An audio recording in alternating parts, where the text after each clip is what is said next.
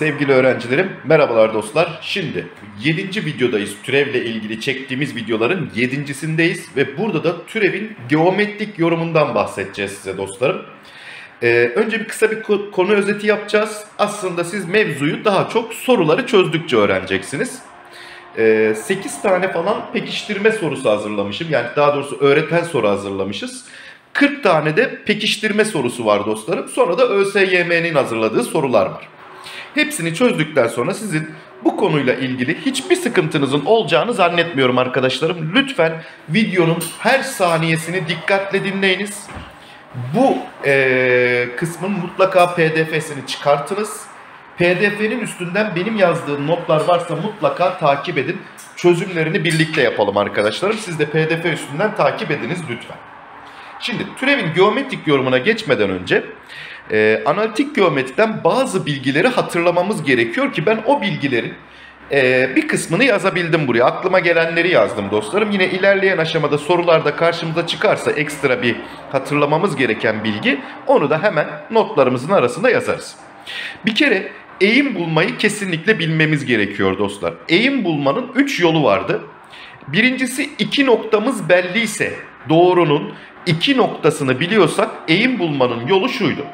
O iki noktanın y'lerinin farkını alıyorum bölü x'lerinin farkı. Bu bizim eğimimizdi. İkinci durum doğrunun denklemini biliyorsak eğim bulmanın yöntemi şuydu. y'yi yalnız bırakıyorduk. Bu durumda x'in katsayısı kaç çıkıyorsa eğimimiz oydu. Yani formül isterseniz de işte bir doğrunun eğimi x'in katsayısının ters işaretlisi yani eksi a bölü y'nin katsayısının aynısı. Ve son olarak eğim aslında orijinal tanımı şudur eğimin. Bir doğrunun x ekseni ile pozitif yönde yaptığı açının tanjant değeri. Bakın burada alfa dediğimiz açı bizim doğrumuzun x ekseniyle pozitif yönde yaptığı açıdır ki işte bu açının da tanjant değeri bize eğimi veriyormuş. Sonra doğru durumlarını hatırlayalım dostlarım. İki doğru ya paraleldir ya diktir demiştik. İki doğru paralelse eğimleri eşit olacak. İki doğru dikse eğimlerinin çarpımı eksi bir olacak gobeller. Bir doğrunun denklemini yazmanın formülünü buraya yazdık. İşte y eksi y1 eşittir eğim çarpı x eksi x1. Buradaki y1 ile x1 dediğimiz şey doğru denklemini yazarken yazacağınız doğrunun üstündeki bir noktanın apsis ve ordinatıdır bunlar.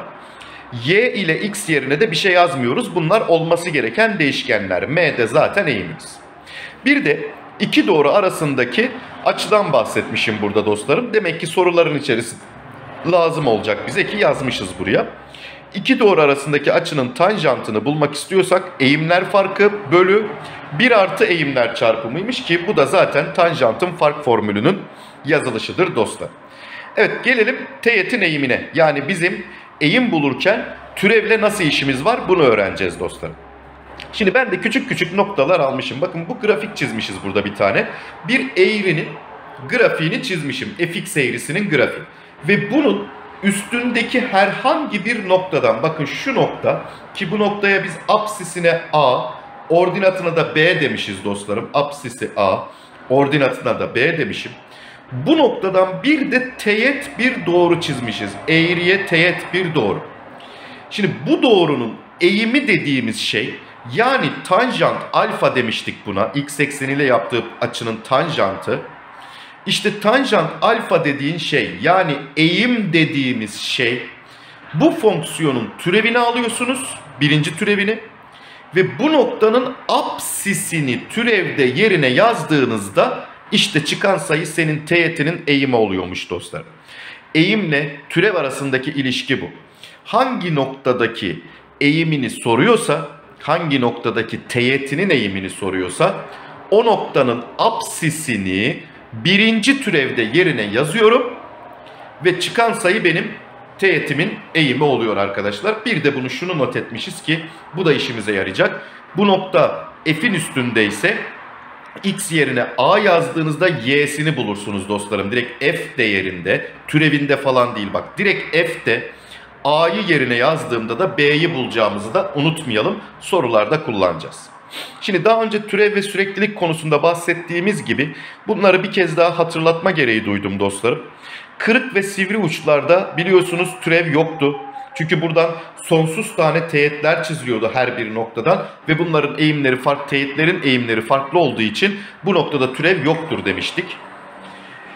Ee, x eksenine paralel çizilen teğetlerde bakın E ve F noktalarında çizilen teğetler x eksenine paralel olduğundan eğimleri sıfırdır. Yani türev değerleri sıfırdır diyormuşuz dostlarım. Bir de bir uyarımız var. Artık herkesce bilinen bir uyarı. Çok klasik bir uyarı oldu arkadaşlarım bu. Bize bir parabol verildiğinde bu parabole orijinden çizilen teğetler diye bir şey başlarsa yani şöyle bakın şeklini de gösterip elinizde bir paralo, parabol var. Paralol diyecektim az da.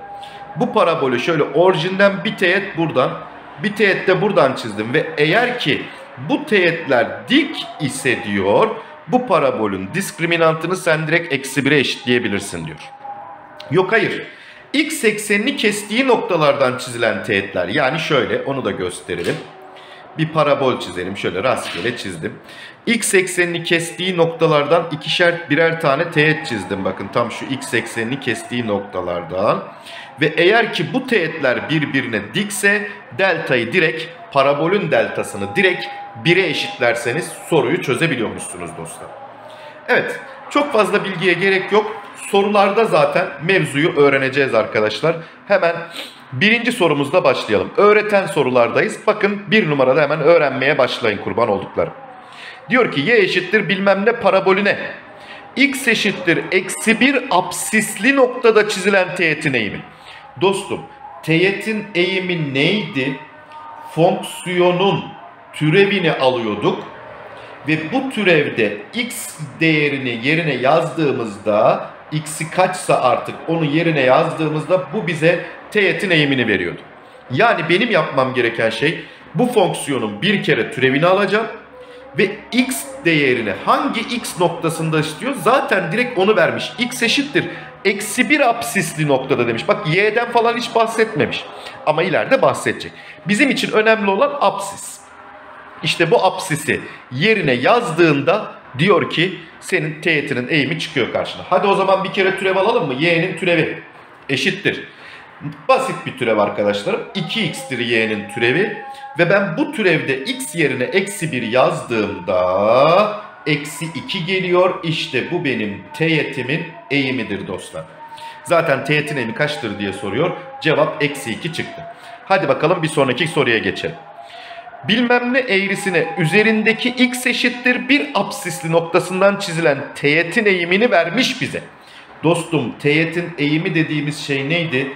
O eğrinin birinci türevinde absisli noktayı yani x eşittir 1 dediği için 1'i yerine yazarsan teğetin eğimini bulursun. Teğetin eğimini de bana eksi 3 vermiş. Demek ki f'in türevinde 1 eşittir eksi 3. Bundan sonrasını hepiniz çok rahat gömebilirsiniz. Hadi gömelim. Türevini alıyorum. 3x kare artı 2kx eksi 2'dir. x yerine de 1 yazıyorum. 3 artı 2k eksi 2 işte bu benim teğetimin eğimine eşit yani eksi 3'e eşit. 3, 2 çıktı 1. Biri bu tarafa attım. Eksi 4 oldu 2k. Demek ki k eşittir. Eksi 2'ymiş dostlarım. Bunun cevabı eksi 2 geldi. Geldik buna. Eğrisine x eşittir a. Absisli noktadan çizilen teğetin eğimi 1 ise a kaçtır? Lan o zaman şöyle demiyor muyduk? Teğetin eğimi 1'miş. Demek ki f'in türevinde hangi absisli noktada? A absisli noktada çizilen teğetin eğimi 1'miş. Demek ki f'in türevinde a 1'e eşit. Hadi türevini alalım. 2'yi başa attım. 2x oldu. Artı 3 oldu. a yazalım. 2a artı 3 oldu. Bu da 1'e eşitmiş. Demek ki 2a eşittir. Eksi 2. a eşittir. Eksi 1 paketle gelsin goberler. Çok basit değil mi dostlarım? Hiç merak etmeyin. Çok kolay bir konudur. Yeter ki mantığını kapın. Eğrisine x eşittir 2 apsisli noktadan çizilen teğetin denklemi nedir diye soruyor. Şimdi dostum analitik geometride şöyle öğrendin sen. Bir şeyin denklemini bulacaksan iki tane ışık yanacak kafanda. İki şey bilmelisin. Bir, nokta bilmelisin. İki, eğim bilmelisin. Bu ikisini biliyorsan bütün soru doğruların denklemlerini yazabiliyorsun. Hadi yukarıda öğrettiğimiz, bir önceki sayfada öğrettiğimiz gibi doğru denklemi yazma muhabbetinde. Şimdi bize o zaman bir nokta lazım. Lan noktanın bize yarısını vermiş zaten. Bak apsisi 2 olan nokta demiş. E apsisi 2 ise ben ordinatını nasıl bulacaktım hocam? Bu x'i burada yerine yazdığımda eğride direkt yerine yazarsam y'sini bulur. Hadi yazalım. 2 yazarsam 4 eksi 4. Eksi 4. 2 yazarsam artı 2 artı 2. Yani ne çıktı benim noktam? 4 eksi 4'ten y'si 0 geldi. 2'ye 0 noktasından bir teğet çizeceğiz. Ve bu teğetin de denklemini arıyoruz. Şimdi bize ne lazım? Eğimi. Teğetin eğimini nasıl buluyordum? Teğetin eğimi eşittir. Bir kere türev alıp apsisini yerine yazıyordum. Yani x eşittir 2'yi yerine yazıyorum. O halde türevini alalım. Eksi 2x geldi türevenin. Artı 1 geldi. Eksi 2x artı 1. Hemen x yerine 2 yazalım. Eksi 4. Bir daha eksi 3. İşte bu da senin eğimin. Eksi 3. Artık doğrunun denklemini her türlü yazarız gobeller. Neydi doğru denkleminin formülü? y eksi y1 eşittir. Eğim çarpı x eksi x1. O zaman y1 yerine ne yazıyorum? 0. x1 yerine ne yazıyorum? 2. m yerine ne yazıyorum? Eksi 3. Yazalım. y eksi 0 eksi 3 çarpı x eksi 2. İşte senin aradığın cevap bu. Hadi gel bunu bir satır düzenleyelim. y eşittir 0'ı sayma. Eksi 3x artı 6'dır. Aradığın cevap budur dostlar. Peki devam edelim. Beşinci sorumuzla öğrenmeye devam ediyoruz. Fonksiyonuna apsisi 1 bölü 4 olan noktada çizilen teğetin x ekseni ile yaptığı pozitif yönlü açı lan x ekseni ile yaptığı pozitif yönlü açı demek bizim için neydi? Bu açı senin eğim açın. Bu açının tanjantı senin eğimin. Tanjant 45 senin eğimindir. Yani 1'dir senin eğimin arkadaşım. Peki nerede çiziler? x eşittir 1 bölü 4'te.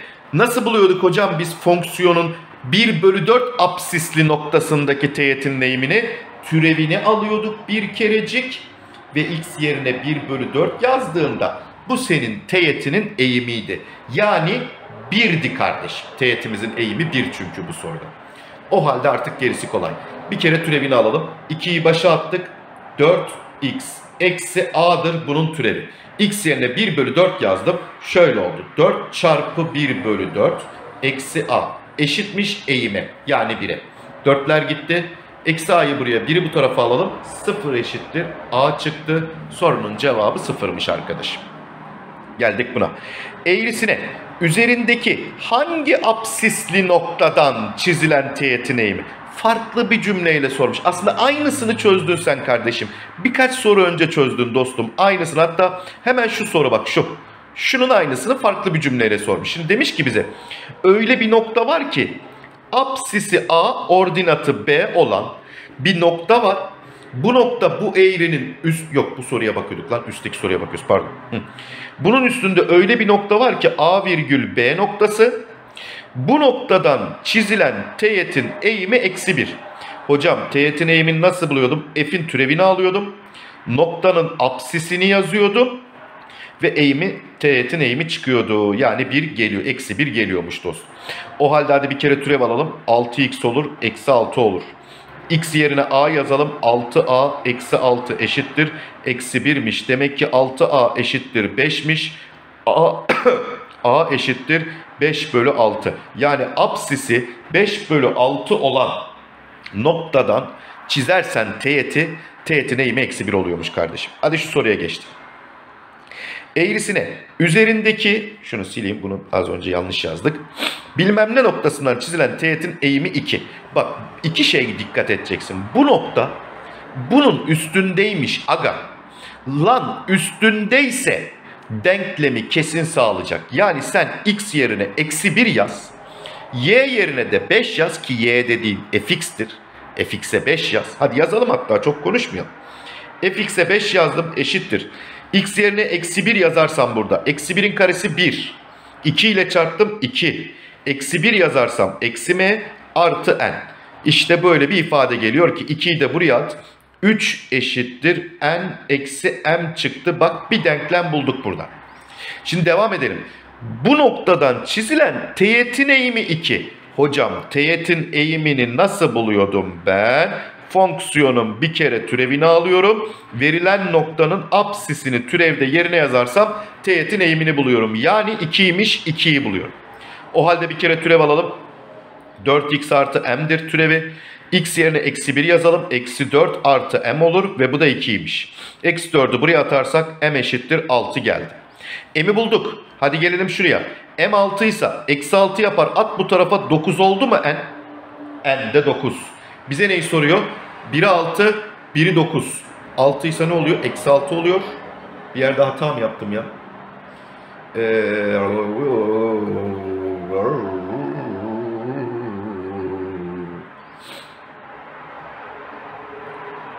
M.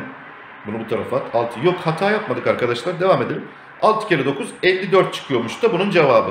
Yani bir daha bakarsanız ben bir yerde hata yapmış da olabilirim diye şüphelendim bir an ama. Çünkü benim bir önceki çözümümde 18 bulmuşum cevabı. Bir daha siz bir kontrol edersiniz. Önemli değil. İşlemlerde hata yapmış olabiliriz. Biz vakit kaybetmeyelim. Eğrisine üzerindeki x eşittir k apsisi noktasından çizilen teğet. Aha. Bu doğruya paralel ise. Gel şimdi kardeşim buraya. Bak şimdi güzel bir soru. Paralellik var.